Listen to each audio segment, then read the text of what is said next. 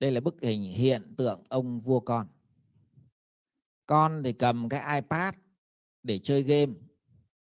Mẹ thì lừa lừa lúc nó há mồm ra tống cho nó một thìa. Bố thì phải lo đi nấu nướng rửa bát. Tức là cả gia đình làm lụng chỉ duy nhất nó là ông vua con ngồi trên ghế salon chơi ipad thôi.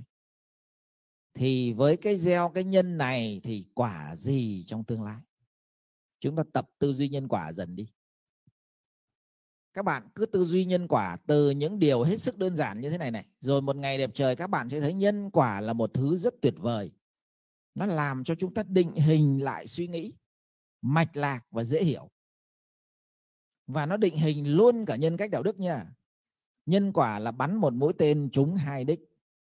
Năng lực tư duy sâu hơn và năng lực của đạo đức được nâng lên. Rất hay đấy. Chẳng có cái thứ tư duy nào mà tốt bằng tư duy nhân quả đâu mọi loại tư duy nó chỉ nâng về tầm trí tuệ thôi, còn riêng tư duy nhân quả, trí tuệ và đạo đức khởi sinh. Hay vô cùng. À. tư duy nhân quả nó giúp chúng ta ngăn luôn điều xấu ác nữa. À. rồi. Lâu lâu chúng ta đi du lịch và chúng ta đến một cái sân bay ở nước ngoài. Chúng ta thấy cái cảnh hai vợ chồng người nước ngoài cùng với một đứa con. À đứa con này mặc dù nó chỉ còn nhỏ tuổi, nó mới học tiểu học thôi, nhưng mà vali nó nó tự đeo, ba lô nó nó tự mang. Bố mẹ không làm hộ nó cái gì hết, nó làm hết. Và mình khen nó, trời ơi, con của người ta tự lập, chưa kìa, mà sao con mình giờ nay vẫn phải chăm bẵm? Tại sao? Tại sao con mình 10 tuổi mình vẫn cứ phải chăm bẵm mà con của người ta 10 tuổi tự đi du lịch được nhỉ? Tự khoác ba lô, tự kéo vali được nhỉ? Tự lấy hành lý được nhỉ? Do ai? Ai gieo nhân cho nó? Ai gieo nhân làm hộ nó? Ai gieo nhân nuông chiều nó? Do mình chứ do ai? Và nếu mình tiếp tục gieo cái nhân này thì quả gì sẽ trổ trong tương lai? Các bạn thấy hình dung không? À còn cái hình bên trái là cái hình của câu lạc bộ dạy con nên người. Cậu bé này là khoảng 5 tuổi rưỡi 6 tuổi. Nha. Đấy, đi tắm ở dưới hồ lên hồ chị An nhé các bạn nhé bơi từ hòn đảo này sang hòn đảo kia là 400 mét đấy. Mặc áo phao vào bơi đấy. Một đoàn 100 người đấy 100 trẻ đấy. Bơi xong sang bên kia là phải lấy hành lý để đến chỗ cắm trại đấy. Tự hết. Tự lập hết các bạn đó, ngày xưa chúng tôi làm câu lạc bộ dạy con nên người tiền thân đấy thân của trường tuệ đức đấy rồi bây giờ chúng ta phân tích đến một số cái yếu tố phụ huynh phù hợp và một số yếu tố phụ huynh không phù hợp. Phụ huynh nào thì phù hợp có con để mà biết cách dạy con nên người.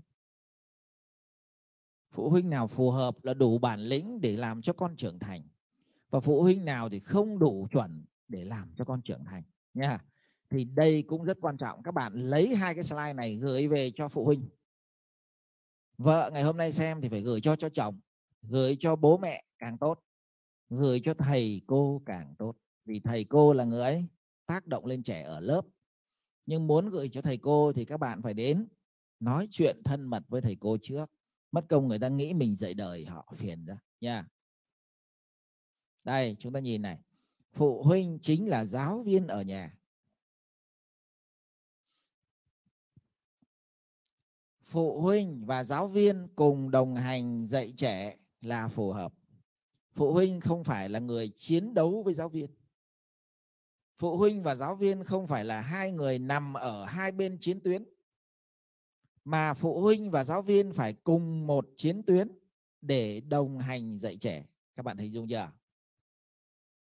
Vậy nhiệm vụ của các bạn phụ huynh là gì của cha mẹ là gì phải có trách nhiệm kết nối với giáo viên và kết thân với giáo viên một giáo viên trường công, họ chăm sóc 5 60 bé. Một giáo viên trường quốc tế, họ chăm sóc 20 cho đến 25 bé. Thì họ không thể nào kết nối với hết phụ huynh của chúng ta một cách cẩn thận được. Nên nhiệm vụ của chúng ta mình biết là họ kết nối với hết hai mươi mấy người hoặc 50 người khó thì mình chủ động kết nối với họ. Vì khi giáo viên và phụ huynh đứng cùng một chiến tuyến để đồng hành dạy trẻ thì vô cùng tuyệt vời. Còn phụ huynh và giáo viên cứ đòi đánh nhau là đứa trẻ đã nát cuộc đời. Tôi thấy nhiều phụ huynh bây giờ còn ờ, lôi giáo viên ra bắt quỳ rồi dọa đánh đập, dọa giết thì hỏi tính tôn sư trọng đạo ở chỗ nào? Hỏi cái đứa học trò là cái đứa con của mình ấy, lớn lên thì nó làm thầy được ai? Nó làm gương được cho ai? Nên đấy là những phụ huynh rất tệ. Họ chỉ nhìn được ngắn hạn, họ không nhìn được dài hạn. Dù giáo viên có sai gì thì sai, các bạn vẫn phải tìm cách kết thân để rồi mình điều chỉnh. Điều chỉnh không được, các bạn rời đi nơi khác. Mẹ của mạnh tử ba lần rời nhà các bạn mạnh dạn rời đi nơi nơi khác.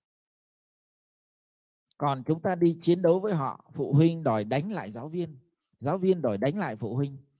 Các bạn làm nát thế hệ con em mình hết. Các bạn có thắng, các bạn cũng làm nát thế hệ học trò hết. Chẳng xứng đáng gì cái chiến thắng này đâu, nha. Yeah. nên phải hiểu, giáo viên và phụ huynh đồng hành dạy trẻ, yếu tố đầu tiên.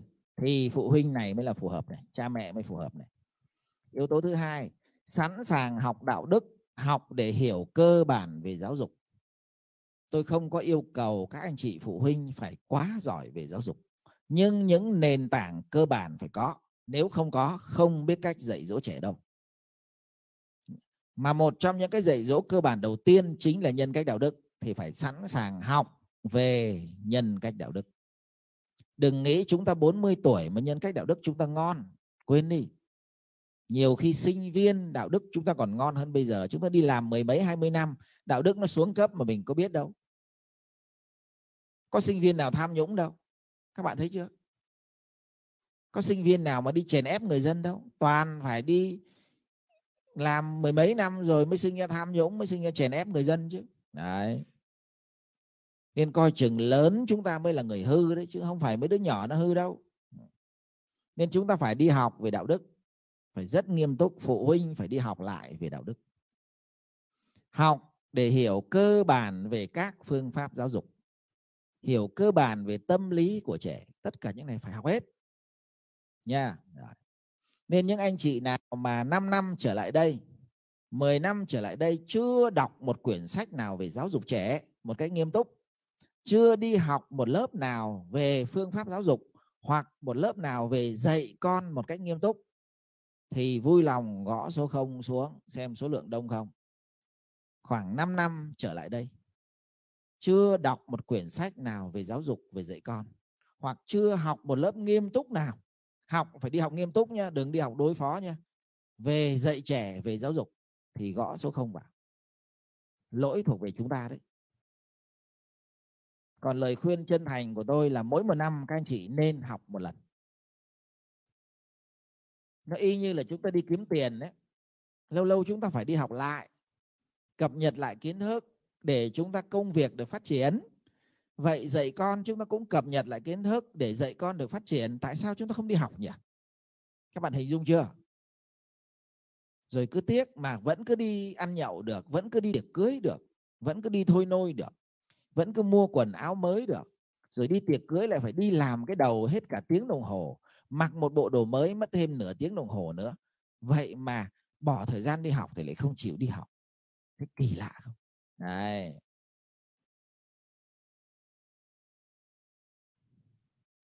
Nên muốn con trưởng thành chính là phụ huynh phải trưởng thành đấy. Phụ huynh phải có ý thức học đấy, nha. Rồi. Tiếp này. Giáo viên và phụ huynh sống phải làm gương. Cái này khó nha sống phải làm gương cái này khó đấy. À, thôi cái khó này neo lát nữa lát nữa có điều kiện nói thêm. Tức là các bạn phải rất biết làm gương đạo đức cũng phải làm gương trí tuệ cũng phải làm gương nghị lực cũng phải làm gương lối sống cũng phải làm gương. Đó. Cách đối nhân xử thế cũng phải làm gương trẻ nó copy đấy nó copy mình đấy. Khoảng 14 15 nó mới bớt copy còn cái giai đoạn hồi bé nó copy không à nó copy mình có cái gì nó copy thế. Cái số 4 này, nắm vững tiến trình để nuôi dạy rèn thì cái dạy là đánh dấu một sao, cái rèn là đánh dấu hai sao, tức là quan trọng. Quan trọng nhất là rèn, kế đó là dạy. Còn đẻ và nuôi qua cái giai đoạn đó rồi. Biết đẻ rồi, biết nuôi rồi, đừng đặt trọng tâm vào nó nữa. Đừng suốt ngày chăm ăn cho con mình nữa. Đừng có đến một cái trường nào hỏi căng tin ơi, là căng tin suất ăn của con tôi như thế nào? Đừng quan tâm cái chuyện đó nhá, suất ăn nó không quá quan trọng đâu các bạn. Cái dạy và cái rèn này này nó quan trọng gấp 100 lần thì hãy cố gắng và quan tâm đó nha. Rồi. Trẻ là đối tượng để dạy và rèn để trưởng thành, đó. Chứ không phải trẻ là đối tượng để đẻ và để nuôi.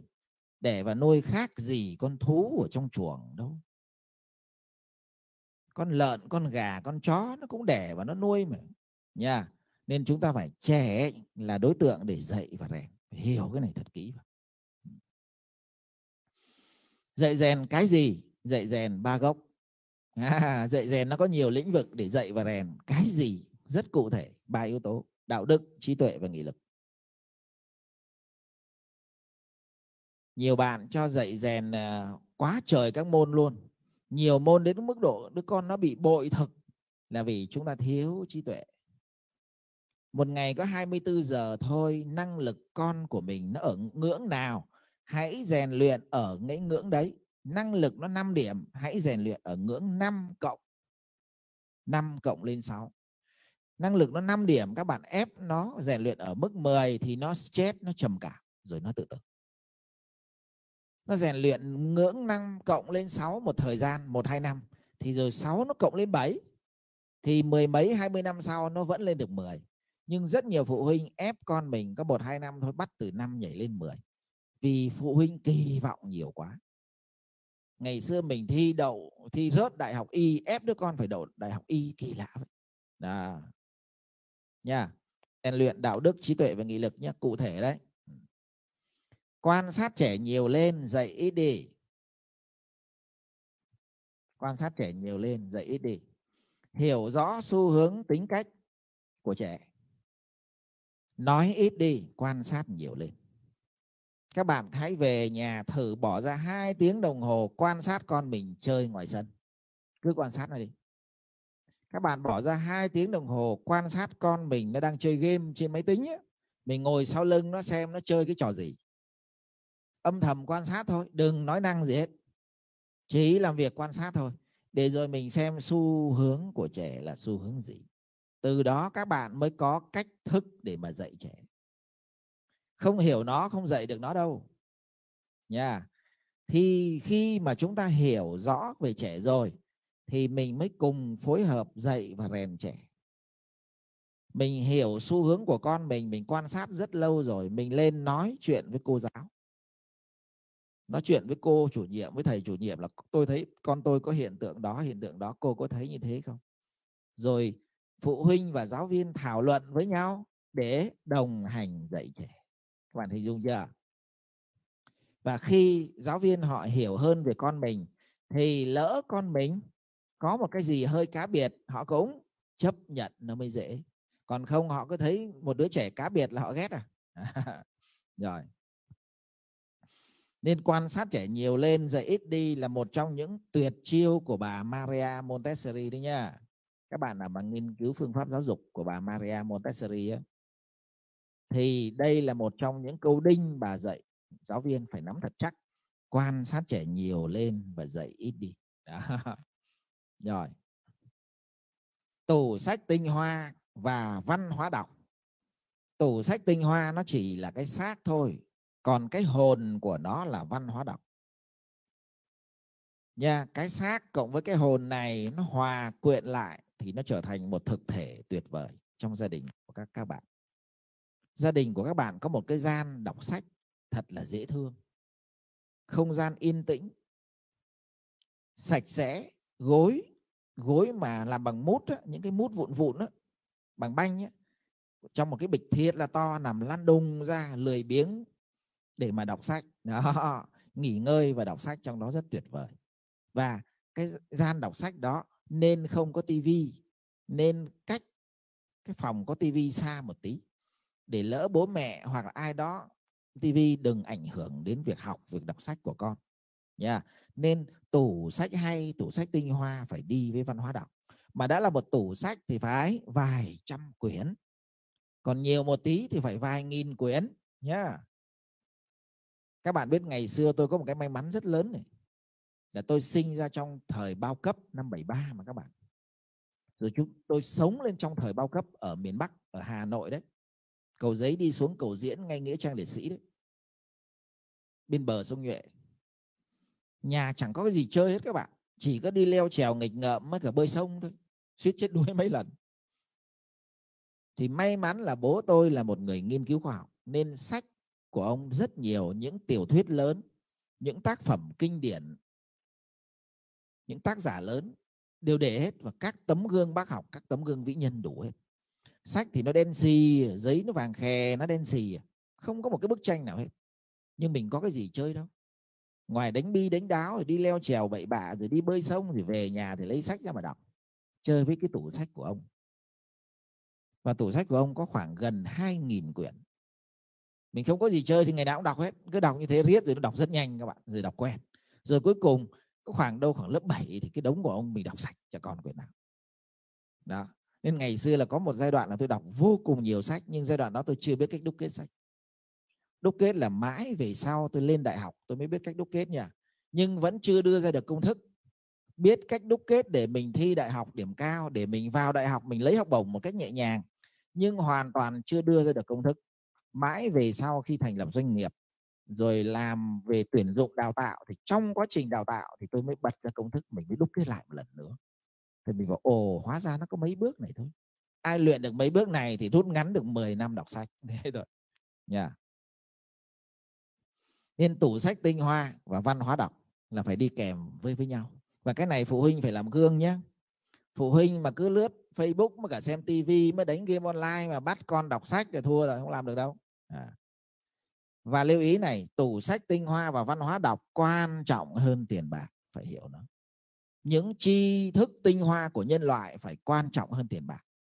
Những tri thức tinh hoa đó nó sinh ra tiền bạc. Tiền bạc có thể mất đi được, nhưng những tri thức tinh hoa đã ngấm vào máu con của mình rồi thì không bao giờ mất đi được. Phải hiểu cái điều này. Cái gì trẻ có thể làm được, hãy để trẻ làm, không làm hộ. Mục số số 8 cũng rất quan trọng. Và đây cũng là một câu nổi tiếng của bà Maria Montessori. Cái gì trẻ có thể làm được, hãy để trẻ tự làm, không làm hộ. Dù nó làm lâu, kệ cho nó làm. Dù nó có làm hỏng, kệ cho nó làm. Rồi bắt nó làm lại, nó sẽ làm được dần. Và đây cũng là một nguyên tắc đào tạo phát triển đội ngũ trong doanh nghiệp cái gì nhân viên có thể làm được, hãy để nhân viên làm. Dù một vài lần đầu, lộ cộ, thậm chí nó gây hỏng, gây chậm trễ, các bạn vẫn phải chấp nhận. Còn các bạn nhảy vào làm hộ nhân viên là thua đấy nhá, lần sau nó sẽ đẩy hết lên cho mình đấy. Thì các bạn trở thành người hùng trong doanh nghiệp là chết. Bất cứ một ông sếp nào trong doanh nghiệp mà biến thành người hùng, thì ông hết sếp đó chưa biết cách đào tạo nhân viên người hùng tức là cái gì cũng phải đi làm hộ những người người khác, tức là ông sếp đó không biết cách đào tạo, chuyển giao.